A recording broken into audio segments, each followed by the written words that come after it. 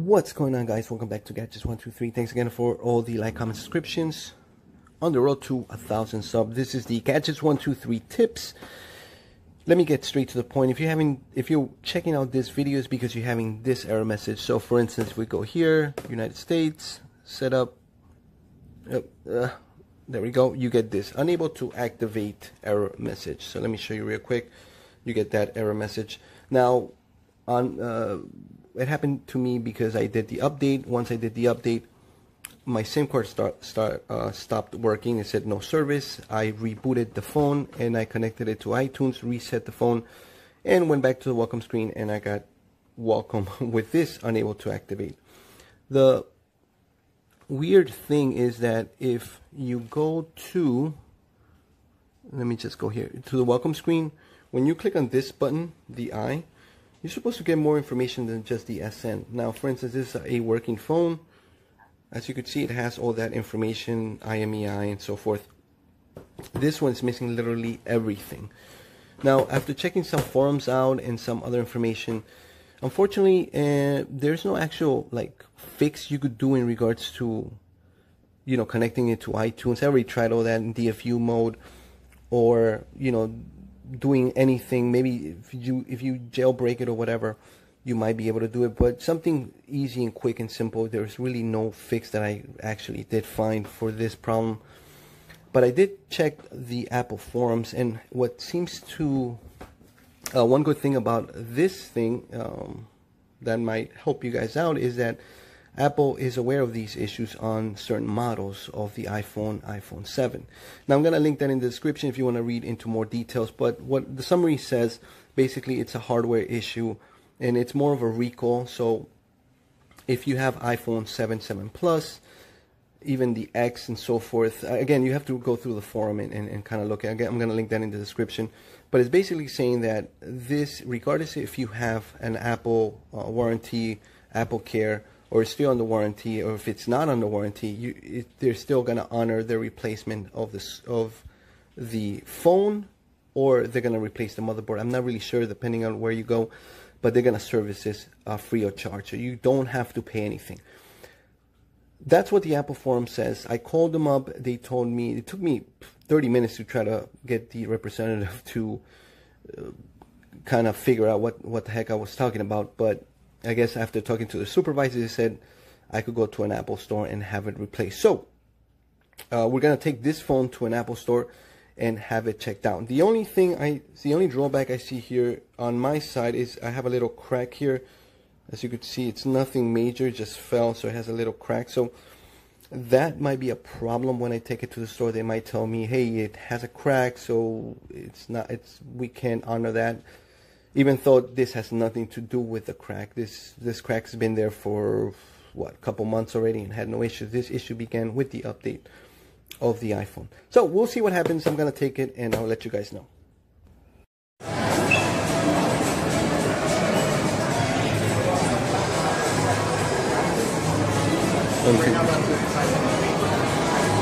So as you could, as you saw in the video, I recorded, I was making a line in the Apple Store, but I could not uh, record while talking to the representative. So, do have good news and bad news. If you do have this error message on your iPhone, you should have no problem taking it to the Apple Store and having it either replaced or swapped. So don't even worry about it, guys.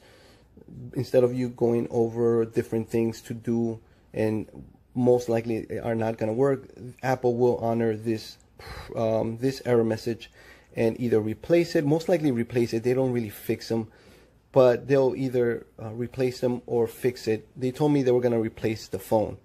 The only drawback that personally I had with this phone was that it has a crack. So if you do have a crack on your phone, Apple is basically told me that they need to replace the crack. So it's going to cost me 150 to get that replaced before they give me a new phone or troubleshoot this phone. Now, the crack really had nothing to do with the error message. This was an update and that caused a problem or like like the forum said it's a, a hardware issue.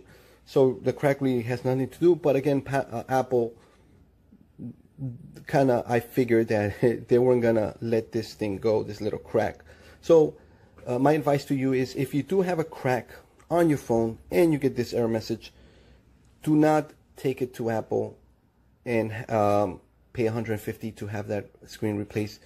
You're better off replacing the screen somewhere else, but try to get a original iPhone screen. Do not get a third party screen because if Apple pretty much sees that it's a third party screen, they might kind of get into that idea of, oh, well, this is all voided because you replace it, you replace it with a third party screen. So if you do have a cracked screen with this error message and you, you, you, you think of taking it to Apple, there's two choices. You could pay the $150 and then get a new iPhone 7 or 7 Plus, which overall it is worth it for 150 bucks.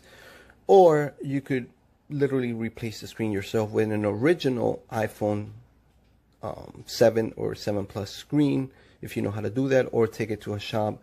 But make sure the screen is an original screen and not a third party screen.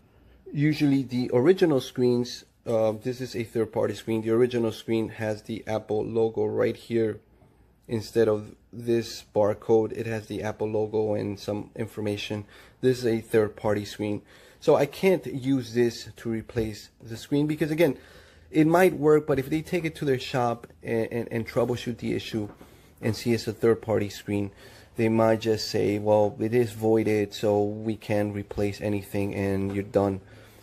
You might as well get an original iPhone 7 or 7 Plus screen or whatever iPhone you have and get that replaced or pay that $150. But again, there is a fix for this. That's only for people that have a cracked screen. If your screen is brand new and has no problem or there's no crack, not even a small one like mine, just take it to the Apple store and they will honor that uh, problem. They are aware of this issue and all you have to do is make an appointment to an Apple location or send it via mail and they already should know what the problem is and give you either a new one or replace the uh, motherboard for the old one. Again, I, I most likely they usually will give you a new one. So hopefully you guys enjoyed this little video. Hopefully this information video that I gave you should help you. Do not start uh, jailbreaking your phone to try get to try to get this problem fixed you're better off just getting a new one from Apple or at least a refurb one from them at no charge. They're not going to charge you anything because this is a recall issue. If you want to read more on that, check out the link that I posted on this video uh, in the Apple forum about this problem. And if you have any more questions, please leave it on the comment and I'll try to answer them. Thanks again for watching this video, guys. This is the Gadgets123 tips video. Unable to activate error message on the iPhone 7, 7 Plus, and I think I seen them on the X. Alright? Thanks again for watching, guys. If you like this video, please thumbs up and comment. We are doing a mystery box giveaway when we reach a thousand subs. So if you haven't subscribed to this channel, please subscribe and you'll be part of that giveaway. Alright guys, leave you guys. Thanks again, and I'll see you guys on the next video. Have a good one.